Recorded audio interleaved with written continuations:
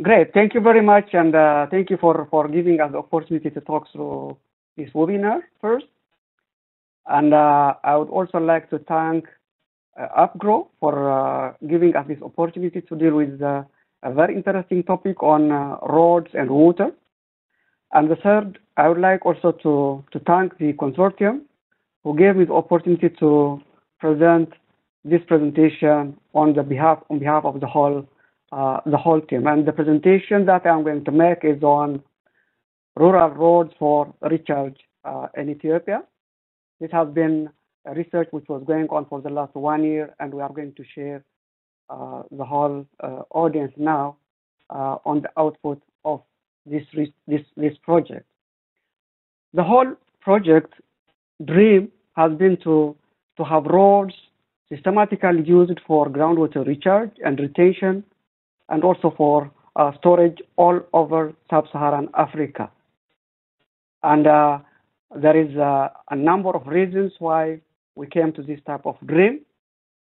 And to talk about that, I'm going to have uh, this outline of presentation, some introductory part on the issues related to water and roads, on the hydrological effects of road development, on the role of partners, especially in the implementation of the different technologies to harvest water from roads, on the techniques which have been implemented, the effects which have been obtained, and the opportunities for upscaling the different uh, opportunities which we have. Just to start with some introduction, well, I think we all know that uh, these days road development is one of the major uh, investments in many sub-Saharan Africa, especially, for example, in Ethiopia. And uh, we did a reconnaissance of about 200 kilometers of road, and we have identified about 260 problems. All of them were related to water. We also did a socio-economic survey of this of about 100 kilometer road, and then we have identified loss of livelihood opportunities because of gully and associated problems, and also litigation. And uh, we also found that distributional effect because the poor and the rich couldn't be able to be affected by this type of problem. We also managed to get the evidence that there is a governance issue which needs to be looked at. That means no community engagement were there in the whole planning of roads in most cases. No connection between road development authorities and the other, especially with water uh, development and the agricultural offices. And there is limited road design guideline on incorporating options of water harvesting from roads. And uh, some budget procedures uh, are not conducive because uh, if you have, for example, a road which is designed based on standard certain budget uh, uh, outline, and if you want to modify to harvest water because it's not in the uh, initial uh, contractual agreement, then this has resulted in a number of uh, problems related to the uh, water and roads. So the effect that we monitored, one is there is increase in erosion of local streams. Uh, we identified about 150 problems related to erosion. This is the one example. This is one example in Ethiopia, but I think what we should really uh, know is that these problems, especially what you see on the uh, on this part, is a gully development which took place in one year after the construction of this road. And uh, we also have identified uh, sedimentation or siltation problems in 15 locations, and it has caused a number of problems. Even farmers have to Uh, plow their farm for three times uh, during the uh, rainy season. It also alters subsurface uh, water flow, which is mainly uh, the groundwater flow. Water logging in the upstream areas was also identified, and local flooding is also a major problem.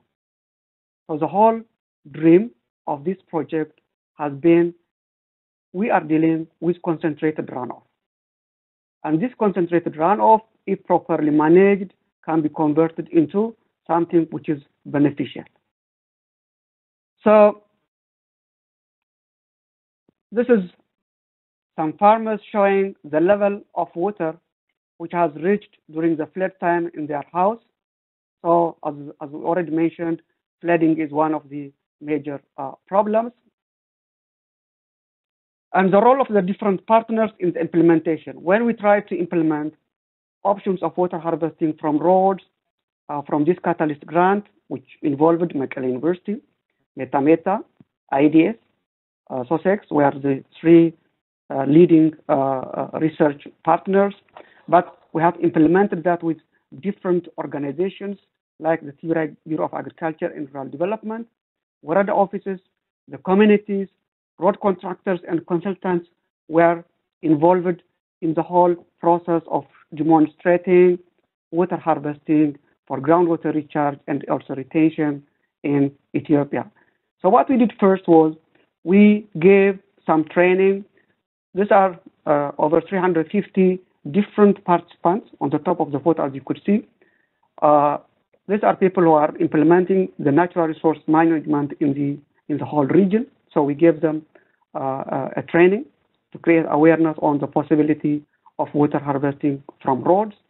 And then, as you could see on the lower part, the different, especially the Tigray Bureau of Agriculture, and also the contractors, the consultants discussing on how to manage this runoff from the culvert for beneficial use as demonstration.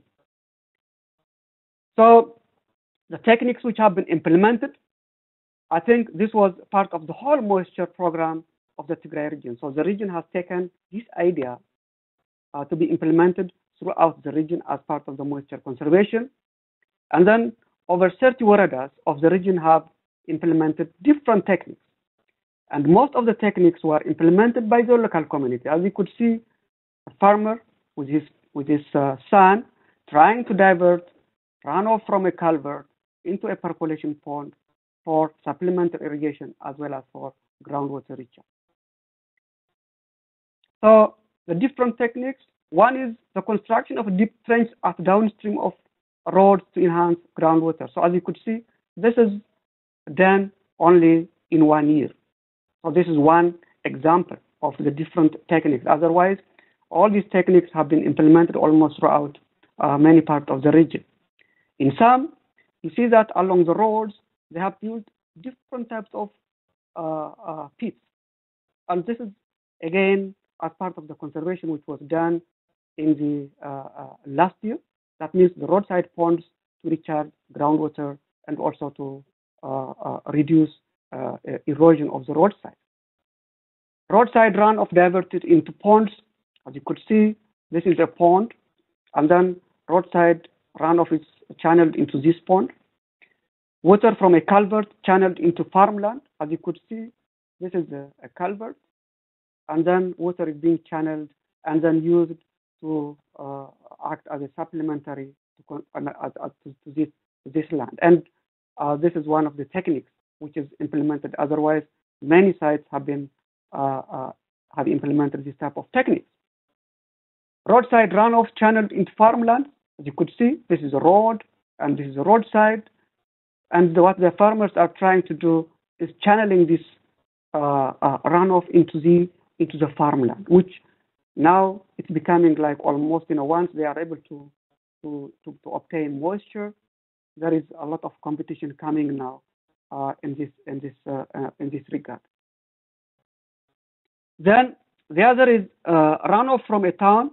This, for example, from a town which is called Froeni. It's channeled into, uh, as you could see, uh, here is the culvert, and this culvert is channeled into a borrow pit. So they are harvesting uh, the runoff from the from the from the town into uh, uh, to act as a groundwater recharge in this area. Water from a culvert is channeled into check dam. There is a road, there is a check dam, and here is a well. This well was dry before the construction of the check dam, but last year they built this check dam, and this well started to, uh, as you could see, yield a very a good amount of water, which is irrigating now about 1.5 hectare of land. Water from a culvert is spread into series of deep trenches, as you could see, is a culvert, and the water is channeled into these different uh, percolation systems, deep trench, and this is again one of the techniques which is which is introduced. Water from a bridge, there is a bridge, and you could see series of percolation systems are there, deep trench and so on. Again, a well is developed here. Again, this is especially the well development was done last year. The deep trenches were also constructed last year, but water has been flowing through the bridge throughout. And the last, the, the lower part is, as you could see, this was a roadside drainage which was constructed three, four years ago. But last year, they built a percolation pond here, as you could see, to recharge the groundwater at downstream area. Uh, so effects of this water harvesting from roads. One, the implementation of water harvesting from road in has gone beyond piloting program. The whole project was to pilot something, but it has gone beyond the piloting. The techniques applied are highly variable depending on site condition, and honestly, most of them were very innovative, done locally with very small uh, uh, support by by the uh, you know professionals in a way, except trying to indicate the technologies and also to monitor the situation. Monitoring has only focused to specific sites, so we couldn't monitor all the sites because it has been implemented uh, in over uh, 30 woredas. So I think we have to know that this is what we are going to present to you on the results of the implementation is only for 10 sites. So what the effects are? These are the implemented technology and the effects. For example, with deep trenches at the downstream side of the roads, we managed to observe an increase in the groundwater level. And then some of them were used to be dry and now became uh, productive. And the moisture content of the soil has improved up 50%. That means we because we know the, the, the sites previously with other projects, so we managed to monitor what was the effect. The roadside ponds, again, the moisture of the soil has improved a lot. And the farmers even, they recognized the importance of this uh, conservation. The roadside runoff diverted into ponds also. You have new surface water, which is used for supplementary as well as for groundwater recharge. Water from a culvert channel to farmlands, again, the moisture content has been improved. And roadside runoff is channeled into farmlands, and this has reduced erosion. And uh, in many cases, it has halted it. And then in, in, in some cases, when the runoff is very high, it has reduced up to 30%. That means still there is more recharge that uh, harvesting of surface runoff that need to be to be done. What is the potential for upscaling or outscaling? Honestly, we have found out that the link between road development, groundwater, livelihood issue has never been there. So the potential for upscaling of water harvesting from road to the whole region and beyond is very high for a number of reasons. One, the negative effects of road could be changed into positive one because the Ethiopian Roads Authority, for example, have identified that about 35% of the road of the damage to roads is related to water.